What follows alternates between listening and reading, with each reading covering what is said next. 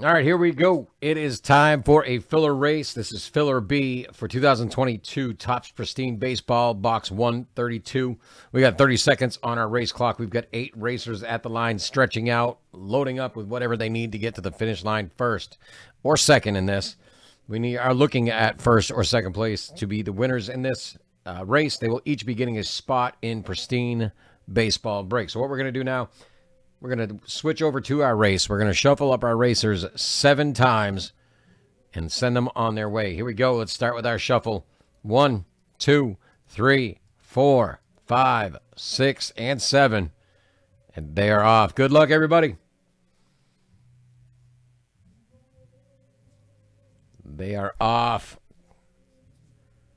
Who's it going to be? What do you think? What do you think? Joe S. Oliver G with the early first and second lead. But Oliver G getting absorbed by the pack.